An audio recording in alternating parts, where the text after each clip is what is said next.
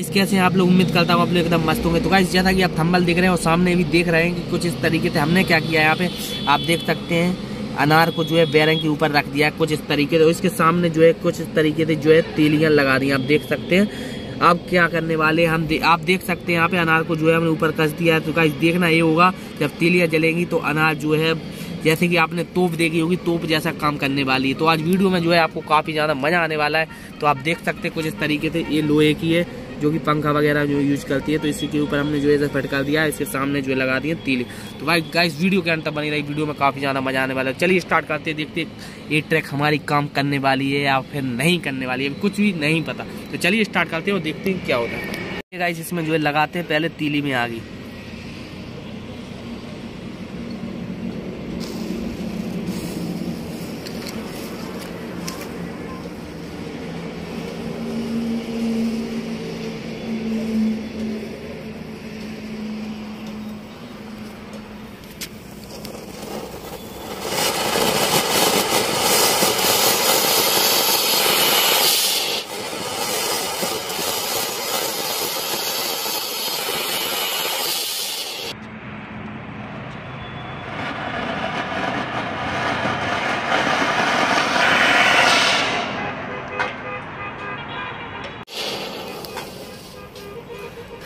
तो गाइस आप यहाँ पे देख सकते हैं, हमारा जो अनार हमने इसमें रखा था फाइनली वो पूरी तरह से काम कर गया आप देख सकते हैं रॉकेट मतलब जो है तोप चलती है, उस तरीके से जो है पूरी तरह से ये वर्क किया है। तो गाइस आई होप कि आपको पसंद आया। पसंद आया तो वीडियो को लाइक कर लीजिए।